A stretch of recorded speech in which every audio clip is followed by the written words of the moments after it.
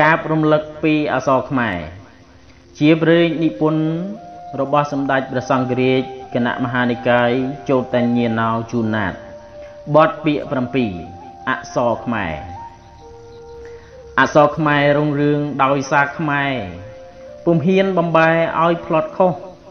ជនខ្មែរគ្រប់គ្នាទាំងស្រីប្រុសពុំហ៊ានបង្អស់ឲ្យខូចបង់ជនខ្មែរស្រស់គ្នាលើកដំកើង ដំឡើងពាក្យពេចដោយចិត្តចង់ខ្មែរជាក្រហោះខ្មែរជាសង្ឃខំប្រឹងតម្រង់អក្សរជាតិអក្សរវិបត្តិជាតិវិបត្តិខ្ចាយខ្ចាត់រត់រាយคลายคលៀងឃ្លាតហេតុនេះខ្មែរយើងកុំរវៀតត្រូវរក្សាជាតិឲ្យរឹងពឹងបើដឹងមិនដល់កុំធ្វើចេះចំណេះតិចតួចស្ដួចស្ដាងស្ដឹងបើចង់ច្បាស់លាស់ត្រូវខំប្រឹង កុំដេកសងំឲ្យចេះឯងចំណេះកើតមានព្រោះការរៀនកុំជើអៀនព្រៀនកុំសំដែង ធ្វើឲ្យគេស្ងោចគេកោតក្រែង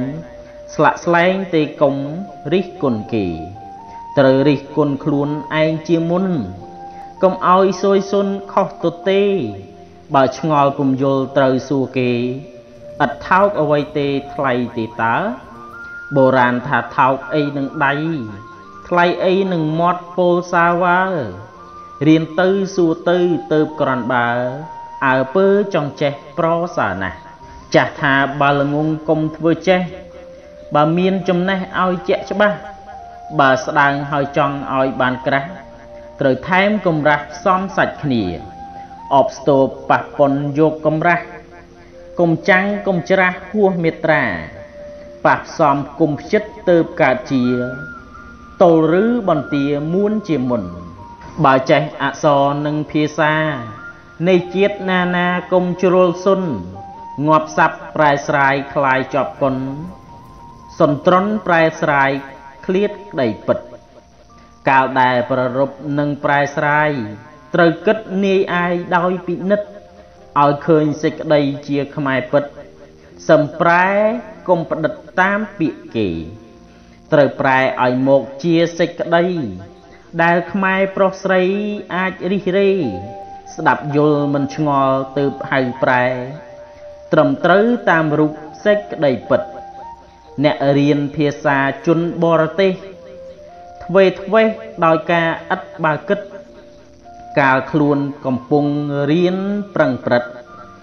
ប្រែផ្ដិតឲ្យចំតាមរូបស័ព្ទ ផ្លេចនឹកគិតមកភាសាខ្លួនឲ្យយល់សំនួនដែលងាយស្ដាប់សម្លឹងសង្កេតតែរូបស័ព្ទក៏ស្រាប់តែប្រែខុសទាំងស្រុង អ្នករៀនសំស្ក្រឹតឬបាលី ប្រែខុសសេចក្តីព្រោះផន់ផុងយល់ខុសទៅទេទាំងដើមចុងចូលក្នុងវិញសុងខ្មាស់អ្នកផងទិដ្ឋបាលីប្រែថាឈោ អ្នករៀនឆ្លក់វោអន់ម្ដងម្ដង ត្រង់មានសេចក្តីថាស្ងួនក្រង ប្រែឆ្គងថាឈួរនៅងាប់ស័ព្ទបារាំងពោតេស៊ូឡាតេតខ្មែរឆ្អែតចិត្តជាប់បែប្រែប្រាប់ អ្នកដែលមិនចេះឲ្យគ្នាស្ដាប់ បង្កប់ថាឲ្យកាន់លើក្បាល មិនប្រាប់ឲ្យគ្នាដឹងថាទូល នេះហៅស្រមូលពុំត្រកាល ពាក្យខ្មែរថាទូលកលើក្បាល ត្រអាលប្រែខុសពីពាក្យខ្លួន តែងកាបឲ្យត្រូវតាមសម្ផស្សតាមកាបចាស់ចាស់ដែលមានជួន